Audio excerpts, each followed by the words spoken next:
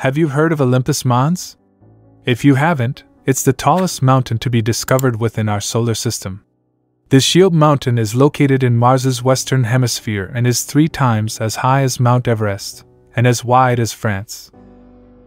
At the mountain's peak is a volcanic caldera that last erupted 25 million years ago, and scientists believe that it may have once been a volcanic island surrounded by an ocean nearly 4 miles deep, according to geological evidence found in towering cliffs that ring the extinct volcano. But how is that evidence?